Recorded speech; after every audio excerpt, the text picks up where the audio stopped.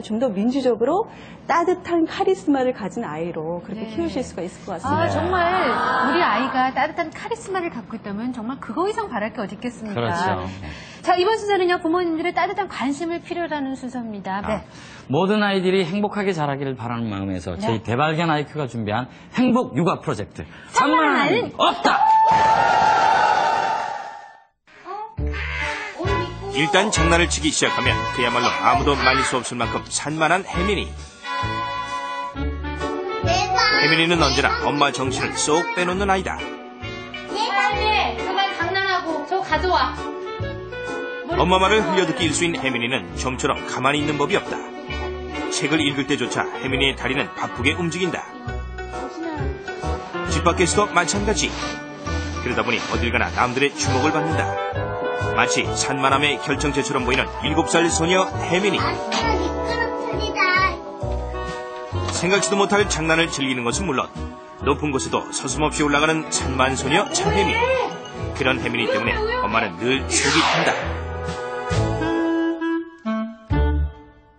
빨간 불 알아? 빨간 불. 위험해. 엄마 이거 만지지 말라고 했지 위험하다고. 어? 의자에서 뛰어내리며 실내 등줄을 잡아당기는 장난은 정리하고 몇 번이나 주의를 줬는데도. 혜민이가 그만두지 않는 장난 중에 하나다. 또한 책장을 밟고 올라서는 행동 역시 엄마의 주의에도 아랑곳하지 않고 혜민이가 즐기는 놀이 중에 하나다.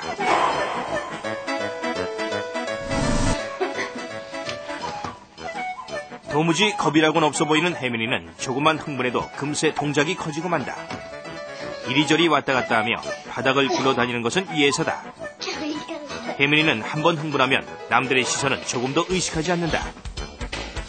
그 덕에 혜민이는 주위 사람들로부터 정신없는 아이라는 핀잔을 자주 듣는다.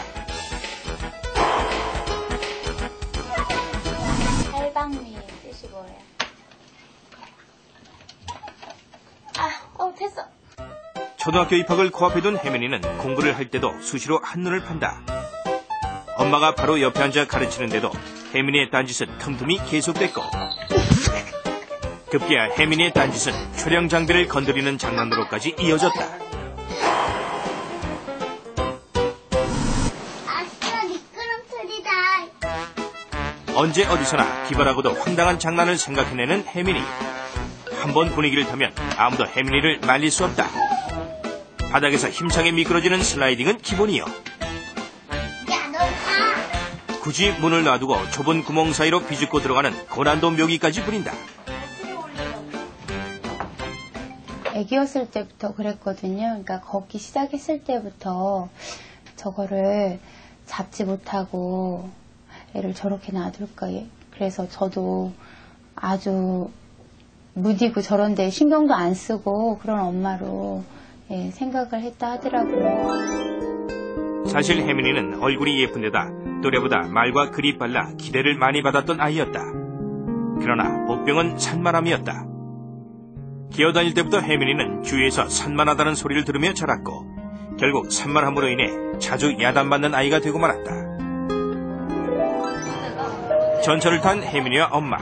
혜민이가 좋아하는 눈썰 매장에 가는 길이다. 그런데 혜민이의 장난이 시작되고 만다.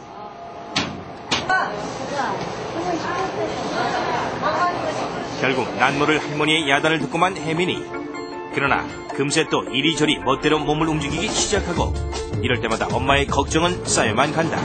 근데 대부분 애들이 뭐 이렇게 막 움직이거나 막 장난하거나 이제 그러니까 이제 어른들이 보시기에는 이제 그런 개구장이로 보죠. 그런데 저도 이제 그런 것만 있으면은 상관을 안 하는데 애가 말 그대로 애가 주체를 못 하니까 그거를 조절을 못 하니까 어느 정도 선에서 조절을 해야 되는데 눈썰 매장에 와서도 위험한 행동을 일삼는 혜민이 타고 내려온 곳을 그대로 거꾸로 올라간다.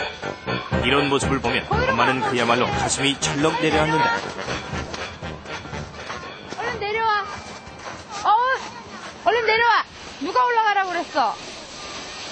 엄마의 큰 소리에도 결국 혜민이는 눈썰매를 타고야 만다. 일어나.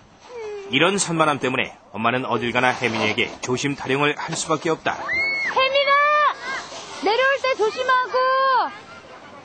사실 요즘 엄마는 걱정이 더 많아졌다. 며칠 후면 혜민이가 초등학교에 가야 하기 때문이다. 마음 같아서는 취학을 미루고 싶은 심정이다. 정신이 하나 없어요, 정말. 학교에서 다치지는 않을까? 혹 지금처럼 멋대로 행동하다 야단이나 맞지는 않을까 조바심이 나는 것이다. 그래서 엄마의 목소리는 점점 커지고 만다. 항상 혼내도 그때뿐이에요. 그때 지나면 또 몇 분 있다가 바로 같은 행동 또 하고 그럴 때마다 속상하고 네 번째 다친 거거든요.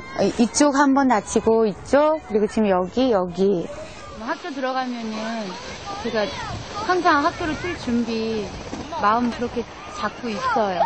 그래서 집도 학교 가까운 데로 가까운 데로 왔고 그러니까 뭐 하면 바로 학교에 가서 챙겨야 될 것 같고 자기 물건은 일단 중요하지. 네, 혜민이가 참 예쁘게 생겼는데요. 네. 노는 건 참 별나게 노네요.